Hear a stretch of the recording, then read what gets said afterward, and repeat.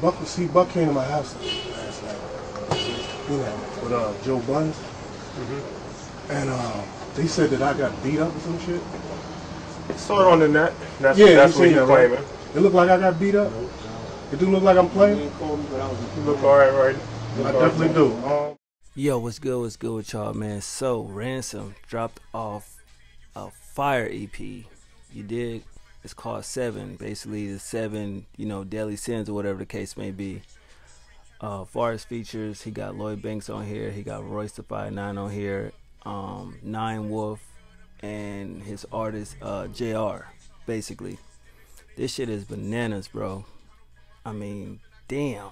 I was not expecting it to be so dope. You know, the first single he released was Pride, which is crazy because I'm listening to the beat and I was like, damn, where's this sample from? The sample is actually from um, Yo Gotti Use the Same Sample uh, on White Friday.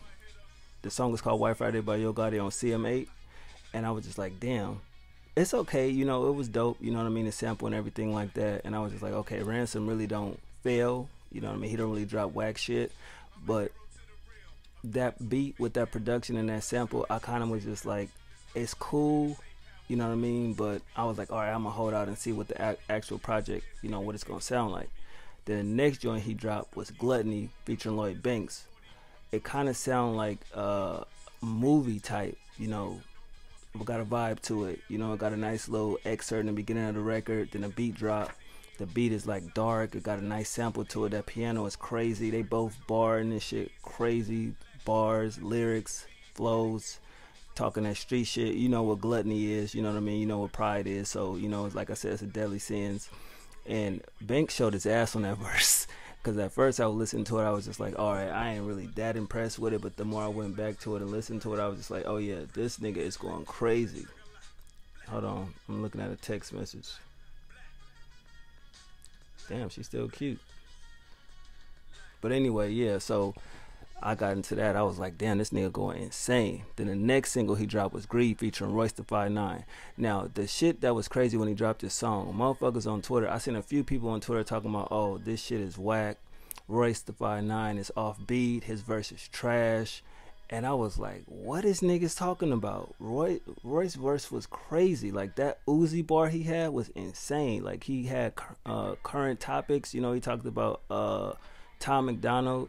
He talked about that uh, that Samuels nigga that be dissing um, black women. And he just talked about he name dropped uh, the way he did the bar with uh, no name uh, Chika's. You know who Chika is. You know what I mean. And I thought that was dope. Um, he was just crazy. That like to me, I'm gonna be honest. Royce had the better verse on that joint. You know what I mean? Um, I'm sorry. It's nothing more I could say about that. It just was just he. I don't know. It just the way he rapped on it. It did at first. It'll kind of leave like, okay, is he flowing? Is he spitting? You know, it's like in and out the way he did it. You know what I mean? It's like he was doing one punches or whatever the case may be. It's like a freestyle in a sense. You know what I mean? But Ransom definitely delivered all the way through crazy. Now we get into Wrath, where a lot of people are saying that they wasn't really feeling the production, and I and I was the same way. I was just like, it's like lackluster. You know, his bars was insane.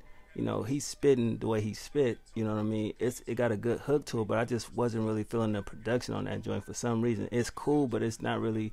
You know, when you've been spoiled by Ransom from last year with everything he dropped with uh, Nicholas Craven, you know, you expect the production to be up to par. It wasn't bad, but it definitely was, you know what I mean, not the best production I heard from Ransom. You know what I mean? But Wrath is a crazy record. I definitely like his storytelling on that joint. That's insane. And we get into track five, which is Lust slash Lust. You know what I mean? The first half featuring um, Nine Wolf. The first half was amazing. It got a soulful beat. His wordplay is insane. You know what Lust is all about. You know what I mean? He spoke from the heart. Bars is crazy. Storytelling at its finest. I like the bar where he talked about his cousin, where he had a bar uh, talking about his cousin in there, basically about family and shit. That shit was insane. Now the second half is pretty dope. It's basically saying love you sometime with the you know with the acronym for Lust is, and I thought that was pretty amazing. I don't know who Nine Wolf is, but like I said on Twitter, I hope him and Ransom work again because I was not expecting that beat to switch up and the, the mood of the record to change. I was just like, damn, why he didn't just use this beat right here for the entire record? That just was nuts. you know, I was like, okay, I'm really fucking with this, man. His bars on this shit was just Ransom is something else, man. I gotta tell you, he's something else. We get into Sloth featuring this artist JR. These two never fail when they on a track together. You know what I mean? They just raw together. The beat was raw, the sample was crazy, they flows matched perfectly. And I'm kind of trying to understand if his artist had like the better verse. You know what I mean? Because I think he had a few more punchlines than Ransom did, but Ransom killed the verse. But I think his artist definitely had like the. I, I like his verse a little bit more. It's just the way he flowed on it, and he just did his thing. I definitely fuck with that song. I was like, damn. Once I got done listening to that record, and then of course the last track, you know, Pride. I already talked about that. But overall, man, Ransom definitely delivered on this shit. You know what I mean? Seven songs, you know, quick little EP. I wasn't mad at it because the simple fact that he he had a, a plan for it. You know what I mean? I didn't know what to expect when he first announced it, but he definitely delivered on this shit. You know what I mean? Just a great concept for a project, and he did what he did on it. You know what I mean? And a lot of people was loving it, even though he about to drop another project I'll post uh, the picture of the artwork and track list, you know, um, somewhere in the video. But I think it's supposed to come sometime in the summer, possibly July. But he's working with um, Big Ghost, the guy that uh, Conway works with on a couple projects. So I'm definitely looking forward to that. I was just like, oh shit. And I think it's like 10 joints on that joint. So I'm like, yo, Ransom is crazy. You know, I think it's called The Head Who Wears a Crown or something like that. I, you, you'll see it, but I'm like, damn, Ransom is definitely getting on this shit far as 2021 because I was wondering, like, man, 2020 was a good year, but is he gonna still deliver in 2021? So far, he been delivering. His features been on point. The record him and Benny got, um, Spineless is fire. Um, 38 Special, um, Benny put out a little uh, project, Trust the Sopranos. It was okay. It wasn't all that, and I think Ransom got a verse on there. Um, Che Noir, you already know about her. Her last project was Fire as well. Ransom had a verse on there. So Ransom definitely been delivering with the features and everything like that. So it's just insane how much of a lyricist he is. It's not even lyricism. It's just like at this point, like somebody said, it's like biblical verses he's spitting because it's just like real life gems he giving you.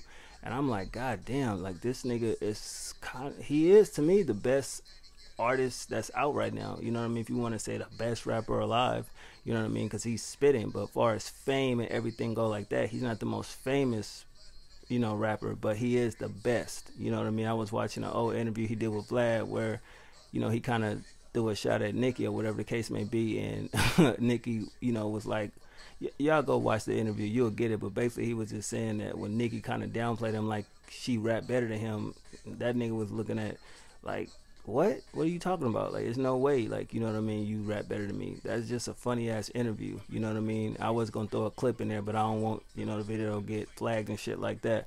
But overall, man, if you're looking for some good bars, some good production, some good lyricism, go check this joint out, man. Ransom Seven EP is out now on all the streaming platforms. Whatever you got is there. You know what I mean? And I'm listening to his other project he dropped a couple years ago called One Percent. That's another fire EP he definitely delivered on that shit. But I'ma holler at y'all, man.